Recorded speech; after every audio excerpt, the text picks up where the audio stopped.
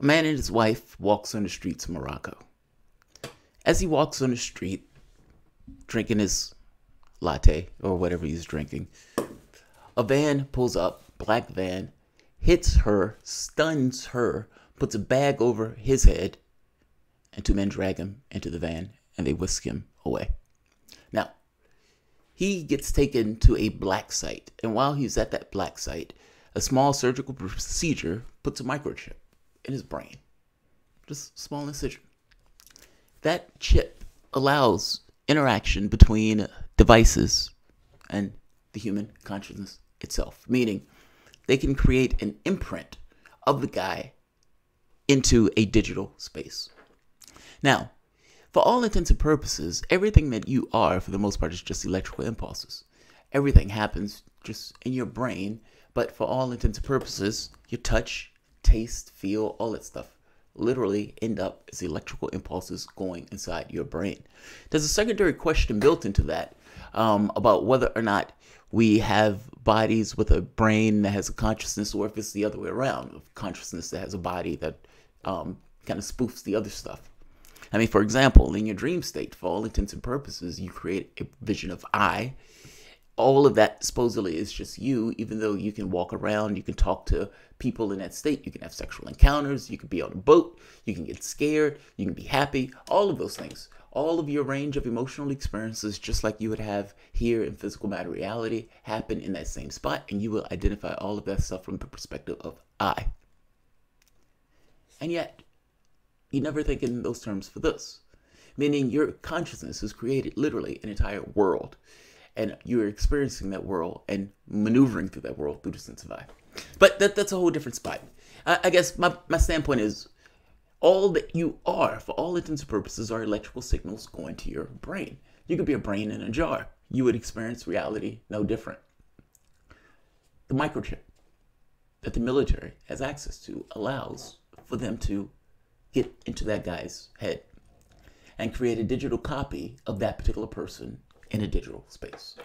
That copy doesn't necessarily think he's different, meaning he has no idea that anything is different from the standpoint of the digital copy versus the self that that digital copy is spoofing. This doesn't seem as hard as I think it may sound as talking about it. If all that we are electrical signals, then what we're talking about are spoofing electrical signals. What is the electrical signal that brings joy? What is the one that brings light? What is the one that brings moving your arm? All of those things. Chip interprets those things and projects it into a digital device. The device itself projects information back that goes to the person that that person experiences as reality itself. Meaning they're screwing with his reality in a digital space. In the space, he's asked questions over and over and over, repeatedly, over and over and over the time span, because he's in a digital space, can be elongated. So things that typically take place in a minute may feel like they're taking hours. They could hold him there for, let's say, a day, and for all intents and purposes, he may feel like he's been there for a thousand years. They can hold him in complete blackness. They can hold him in freezing cold. They can hold him in heat. All of those things. He could be burned continuously without his skin ever really peeling off, even though he will feel all the effects of being burned. They can torture him for as long as they want without his physical body being harmed. Yes, it may absolutely destroy his mind. They could feed him his liver, recreate his body, and feed him his liver again. And they can do that day after day after day, continuously asking him questions. We can make this stop if you give us the answers that we want. We can make this stop if we give us the answers we want. And then they find out at the last minute they got the wrong guy. Elon Musk wants to put microchip in people's heads by next year.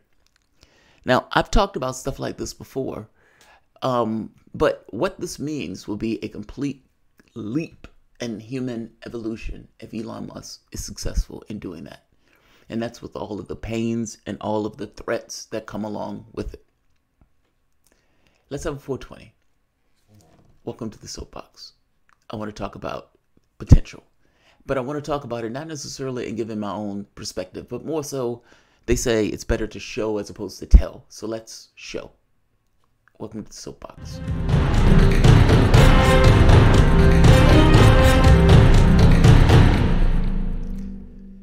My name is Jamarl Thomas. This is the Progressive Soapbox. And yeah, blaze one if you got one. And let's talk about interesting and odd things. You have a kid.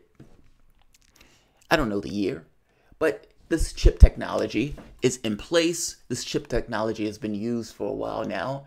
They have multiple instances of it. Your kid goes to school and you kiss your kid on the head when he goes to school or she goes to school and you say, be good, don't hurt nobody, all that good stuff. And your kid say, okay, mommy. And your kid is in a new pilot program at a new pilot school for advanced people around that particular age. And instead of your kid opening up a textbook, instead of him, you know, um, playing with toys or whatever else, he sits at a little monitor. The teacher tells him, Today, you're going to experience life as if you were living in Brazil in the year 1988. Or maybe, let's say 2013. Or let's say 2018, the year that the chip technology, at that point, you can have this notion of a real world phenomena around it. But let's say 1980s. And that kid goes in, white kid, and experiences the life of a person living during that particular time, in that particular life, doing a particular task, a particular job, in a particular class, socioeconomic status, all that stuff. He lives a life. And within the course of, let's say, an hour, two hours, he's lived an entire life of that particular individual, including the schooling of that particular individual and the perspective that that particular individual held. Hell, he may even have a name of that particular individual. And this kid is going to do this over and over and over and over again. Because what society realized at some point was look, part of our problem is that we feel disconnected from one another. And if the other person wasn't necessarily the enemy or the other person wasn't necessarily um, misunderstood, meaning at that point it wasn't another, then maybe we can cut down on some of the stress that we have in the way that we interact with one another and end this notion of tribalism, a technological solution. This kid, over the course of the time that he's in school, lives thousands of lives, all races, classes, um, wars, everything, all in between.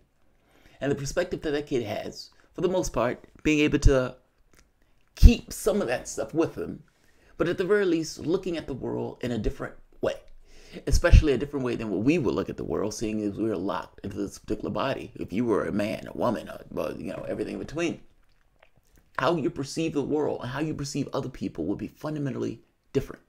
They're not the other anymore. For all intents and purposes, they may even come across as family that person will be dramatically misunderstood going through society. But if society gets to a point where the school system is built around that type of integration of the whole, you have a different world. You have an entirely, fundamentally different society. That kid has lived multiple lifetimes.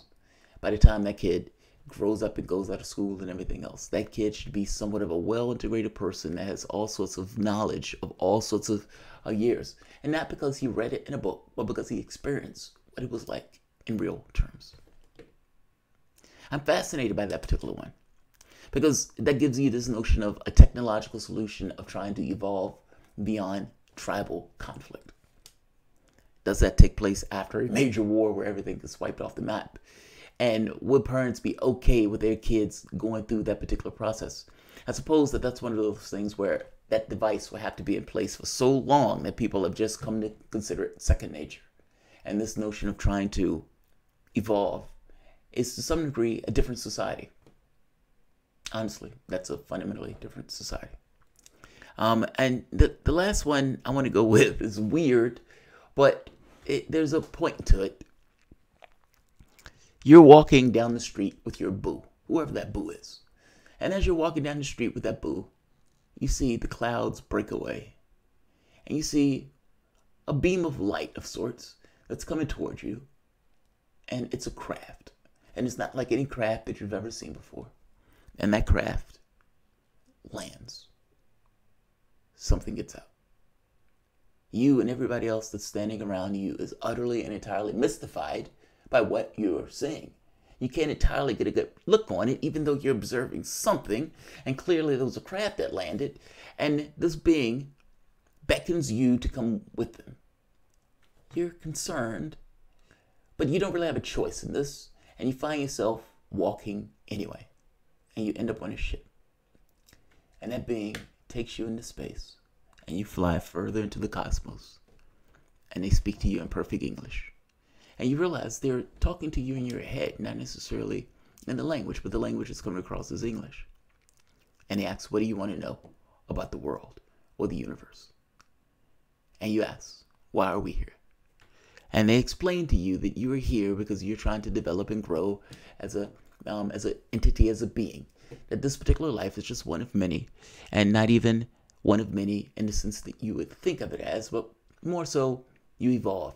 And as you evolve, you evolve for a particular reason. You're blown away by this. And this thing brings you back. And you find yourself falling out of the sky. Now that seems like a dick move that it would throw you out of the craft like that. But you bolt up. You wake. And there's somebody who's standing near you and they're asking you if you're okay, if you're alright. And you're answering, you know, yeah, you're groggy, but yeah, you're good, you're good. Why are all these people around? They said, look, we we apologize, we've been hacked. And somebody at the company put in a virus that was this kind of virus dealing with like a UFO thing in order as a spoof of sorts. Um, and you say, no, that's not true. Really, I, I had this being. And they said, well, to be honest, all of the people here had a different experience. And the different experience was built about by essentially the person, meaning there was a bit of technology involved in it, in the interaction of the virus. We're really sorry about this. Um, if there are any damages, the company don't mind paying you, but we really apologize for this particular thing. And he says, No, really, this experience was real. He says, Look, that guy over there thought he was being blown up. He thought it was a UFO attack. The other guy thought he saw Jesus. The other guy thought that beings essentially came down in order to welcome humanity into their cosmos. It wasn't real, dude. I apologize. Once that thing is in your head, all sorts of shit becomes possible. You could be shut off, for that matter, the government could come in with a failsafe within that particular device and shut you off. You had a protest. And they can even come up with laws to make it legal to do such a thing. Now, not so much in the beginning, but towards the end or towards a particular process where this thing has been in for so long and laws started to be evolved into how you use it. Maybe there's a terrorist, maybe there's a bomb. They say, hey, in case of a terrorist attack, we need the ability to be able to shut off an individual, um, etc. And right there, right off the bat, now you have the ability to shut human beings off based on their processes. And that's assuming government. That's not even talking about corporations or the wealthy or the rich. Or what does it mean to live forever if one of those people have a device and you can put yourself in a digital space? What does it mean when you can be in a digital space long enough to the point where technology evolves, where you can build your own body and bring that person back? Meaning Jeff Bezos comes back in 300 years after they get to the point of building a body for Jeff Bezos. He lives forever. Elon Musk and what he's trying to do literally is an evolution in human, uh, a step in human evolution. There is no cosmic God, though, in order to ensure things go well. I mean, I would imagine during the Black Death, again, those people thought it was the end of the world. During World War II, I would imagine they thought it was the end of the world. In those cases, there was nothing to force reality to go one way or the other. Um, and we can get to the point where we fuck ourselves over royally in something that we do. Depending on how this technology goes, though, this technology could be amazing in regards to human evolution by the same token.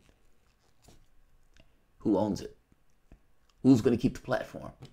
What are the rules around how that thing is in your head? What are the rules around protecting to make sure that that thing doesn't get hacked? How do you ensure that the signal that that thing is putting out, meaning the moment that you plug yourself into a computer, that computer has access to you also? It's fascinating technologically, uh, from a technology standpoint. It's even fascinating from a standpoint of what it means for video games, this notion of putting yourself in a video game what it means for security, what it means even for war. Meaning attacks that take place don't necessarily have to take place in bombs. They can take place in regards to cyber warfare where you just kind of ice a large part of the population using some kind of technical device. It's cool. But be aware. There are dangers in these type of technologies. Yeah. Like and share.